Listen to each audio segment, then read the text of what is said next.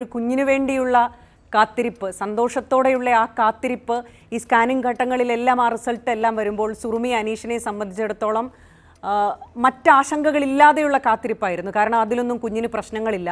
സ്കാനിങ്ങിന്റെ ഒരു ഘട്ടത്തിൽ ഫ്ലൂയിഡ് കൂടുതലാണെന്ന് മനസ്സിലാക്കിയപ്പോൾ സുറുമി ആവർത്തിച്ച് ഡോക്ടർമാരോട് ചോദിക്കുന്നുണ്ട് കുഞ്ഞിനെന്തെങ്കിലും പ്രശ്നമുണ്ടോ എന്ന്? ഡോക്ടർമാർ ഉറപ്പ് പറയുന്നു കുഞ്ഞിന് ഒരു പ്രശ്നവുമില്ലെന്ന്.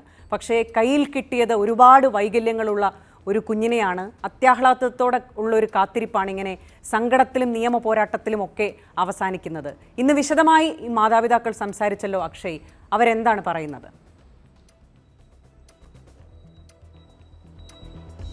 നിമി സൂചിപ്പിച്ചതുപോലെ തന്നെ ഒരു കുഞ്ഞിന് വേണ്ടി പത്ത് മാസത്തോളം അവർ കണ്ണിൽ എണ്ണ ഒഴിച്ച് കാത്തിരുന്നു. കിട്ടിയ കുഞ്ഞിനാവട്ടെ നിരവധി വൈകല്യങ്ങളാണ് അങ്ങനെ ഒരു സങ്കടകരമായ അവസ്ഥയിലാണ് ഈ ആലപ്പുഴ ലജ്ജനത്തിലുള്ള ഈ അനീഷും സുറുമിയും ഇവിടെ കുടുംബമുള്ളത്. ഇവർ തുടക്കം മുതൽ കടപ്പുറത്തുള്ള വനിതകളുടെയും ശിശു കുട്ടികളുടെ ആശുപത്രിയിലാണ് കാണിച്ചുകൊണ്ടിരുന്നത്. ആദ്യം പുഷ്പ എന്നൊരു ഡോക്ടറെ കാണിക്കുന്നു. പിന്നീട് അവരുടെ ചികിത്സയിൽ തൃപ്തി പോരാത്തതുകൊണ്ട് ഇവർ തന്നെയാണ് മറ്റ് ഷേർലി എന്ന് പറഞ്ഞ ഡോക്ടറിലേക്ക് കാണാൻ ചെല്ലുന്നത് പിന്നീട് ഈ ഗർഭ അവസ്ഥയിൽ ഏഴോളം സ്കാനിങ്ങുകൾ രണ്ട് ഡോക്ടർമാരും നിർദ്ദേശിച്ചു. അതനുസരിച്ച് രണ്ട് സ്വകാര്യ ലാബുകളാണ് ഇവർ ഈ സ്കാനിങ്ങുകൾ മുഴുവൻ നടത്തിയത്. ഈ സ്കാനിംഗ് റിപ്പോർട്ടുകളെല്ലാം ഇവർ കൃത്യമായി ഡോക്ടറെ കാണിക്കുകയും ഡോക്ടർ പറഞ്ഞതനുസരിച്ചുള്ള ചികിത്സകൾ സ്വീകരിക്കുകയും റെസ്റ്റ് എടുക്കുകയും അതുപോലെ തന്നെ പരിശോധന നടത്തുകയും എല്ലാം ചെയ്യുന്നുണ്ടായിരുന്നു. അപ്പോഴൊന്നും ഈ സ്കാനിങ്ങിൽ ഇത്തരത്തിലുള്ള കുട്ടിക്കൊരു വൈകല്യം ഉണ്ട് എന്നുള്ള കാര്യം ഡോക്ടർമാർക്ക് മനസ്സിലാവുന്നില്ല. അവർ ശ്രദ്ധിച്ച് അവരുടെ ഭാഗത്തു നിന്നുള്ള വീഴ്ചയാണോ എന്നുള്ള കാര്യത്തിൽ അത് നമുക്ക് പിന്നാലെ നമുക്ക് അറിയാൻ സാധിക്കും. ഏതായാലും ഇത്തരത്തിൽ ഓരോ തവണ ആശുപത്രിയിൽ എത്തി ഡോക്ടറെ കാണുമ്പോഴും ഇവർ കുട്ടികൾ കുട്ടിയുടെ അവസ്ഥ കുട്ടിയുടെ ആരോഗ്യത്തെ കുറിച്ചെല്ലാം ഇവർ ഡോക്ടർമാരുടെ ഡോക്ടർമാരോട് അന്വേഷിക്കുമ്പോഴും കുട്ടിക്ക് യാതൊരു കുഴപ്പവും ഇല്ല എന്നുള്ള കാര്യമാണ് ഇവർ കുടുംബത്തോട് അറിയിച്ചിരുന്നത്. അതുകൊണ്ട് തന്നെ മറ്റു സംശയങ്ങളൊന്നും ഇവർക്ക് ഉണ്ടായതുമില്ല. ഏതായാലും ഈ കഴിഞ്ഞ മാസം ഒക്ടോബർ ഒക്ടോബർ മുപ്പതാം തീയതിയാണ് പ്രസവത്തിന് വേണ്ടിയിട്ട് ആശുപത്രിയിൽ അഡ്മിറ്റ് ആവാൻ പറയുന്നത്. അതനുസരിച്ച് ഇവർ ആശുപത്രിയിലെത്തി അഡ്മിറ്റ് ആവുകയും ചെയ്തിരുന്നു. പിന്നീട് ശസ്ത്രക്രിയയ്ക്ക് വേണ്ടിയുള്ള കാര്യങ്ങൾ നടക്കുമ്പോഴാണ് ഡോക്ടർ പറയുന്നത് എത്രയും പെട്ടെന്ന് ആലപ്പുഴ മെഡിക്കൽ കോളേജിലേക്ക് എത്തിക്കണം എന്നുള്ള കാര്യം. അപ്പോഴും എന്താണ് വ്യക്തമായ കാരണങ്ങളൊന്നും ഇവരോട് ഈ അച്ഛനോടും അമ്മയോടും ആശുപത്രി അധികൃതർ വ്യക്തമാക്കിയിരുന്നില്ല. അതനുസരിച്ച് ഏതായാലും അവർ വണ്ടാനം മെഡിക്കൽ കോളേജ് ആശുപത്രിയിലേക്ക് പ്രസവത്തിനായി എത്തുന്നു അപ്പോൾ ഈ പരിശോ അവിടെ മറ്റ് സ്കാനിങ്ങുകളോ മറ്റ് പരിശോധനകളോ ഒന്നും നടത്തിയില്ല. മുൻപ് നടത്തിയിരുന്ന ഈ സ്കാനിംഗ് റിപ്പോർട്ടുകളാണ് അവിടെ ഡ്യൂട്ടി ഉണ്ടായിരുന്ന ഡോക്ടർക്ക് ഈ അനീഷ് നൽകുന്നത്. ഈ സ്കാനിംഗ് റിപ്പോർട്ടുകൾ കണ്ടപ്പോൾ തന്നെ ആദ്യം തന്നെ ഈ ഡോക്ടർ ഡ്യൂട്ടിയിലുണ്ടായിരുന്ന ആലപ്പുഴ മെഡിക്കൽ കോളേജ് ഡ്യൂട്ടിയിലുണ്ടായിരുന്ന ഡോക്ടർ അനീഷിനോട് തിരക്കിയത്.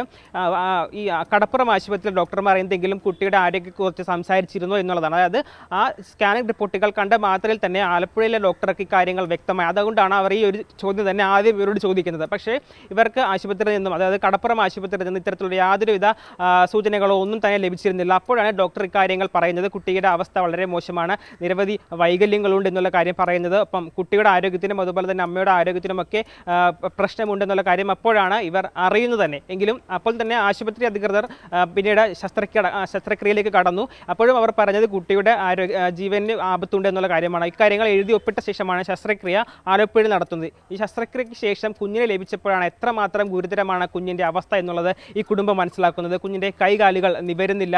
കുഞ്ഞിന്റെ കണ്ണ് യഥാസ്ഥാനത്തല്ല ചെവി യഥാസ്ഥാനത്തല്ല വായ യഥാസ്ഥാനത്തല്ല. അത് തുറക്കാൻ സാധിക്കുന്നില്ല. കുഞ്ഞിനെ നിവർത്തി കിടത്തി കഴിഞ്ഞാൽ കുഞ്ഞിന്റെ നാക്ക് ഉള്ളിലേക്ക് ഇറങ്ങിപ്പോകുന്ന ഒരു അവസ്ഥയിലാണ് അത്തരം അത്തരത്തിൽ അത്രയും ഗുരുതരമാണ് ഈ കുഞ്ഞിന്റെ ആരോഗ്യസ്ഥിതി എന്നുള്ളത്. എന്തായാലും ഈ ഇവർ ആശുപത്രി അധികൃതർക്കെതിരെയും അതുപോലെ തന്നെ എല്ലാ പരാതി നൽകിയിട്ടുണ്ട്. ഡി എം ഒക്ക് പരാതി നൽകി സൂപ്രണ്ടിന് പരാതി നൽകിയിട്ടുണ്ട്. ജില്ലാ പോലീസ് മേധാവിക്കും ആരോഗ്യമന്ത്രിക്കും അടക്കം പരാതി നൽകിയിട്ടുണ്ട്. നിയമപോരാട്ടത്തിലേക്ക് കടക്കുകയാണ് കുടുംബം. ഏതായാലും കുഞ്ഞിനെ ചികിത്സിക്കുന്നതിന് ഭീമമായ തുക ഇവർക്ക് വേണ്ടി വരും. സ്വകാര്യ ആശുപത്രിയിലൊക്കെ വേണം ചികിത്സ നൽകാൻ. അതുകൊണ്ട് തന്നെ എന്ത് ചെയ്യണം എന്നൊരു അറിയാ അറിയാത്തൊരവസ്ഥയിലാണ് ഈ സുറുമയും അനീഷും ഉള്ളത്.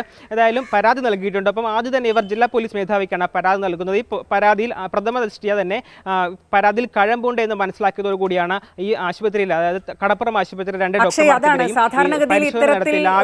ആശുപത്രിക്കെതിരെ ഡോക്ടർമാർക്കെതിരെ പരാതികൾ ഉണ്ടാകുന്ന ഘട്ടത്തിൽ ഒരു പരിശോധന ആശുപത്രികളുടെ വിശദീകരണം ഡോക്ടർമാരുടെ വിശദീകരണം ഒക്കെ തേടിയ ശേഷമാണ് ഒരു കേസ് അല്ലെങ്കിൽ നടപടികളിലേക്ക് പോകാറ് പതിവ്. അങ്ങനെയാണ് നമ്മൾ കണ്ടിട്ടുള്ളത്. പക്ഷേ ഇതിൽ ഈ പ്രഥമ ദൃഷ്ട്യാ തന്നെ പിഴവുണ്ടെന്ന് ബോധ്യപ്പെട്ടെന്നാണ് പോലീസ് റിപ്പോർട്ടിലടക്കം പറയുന്നത്.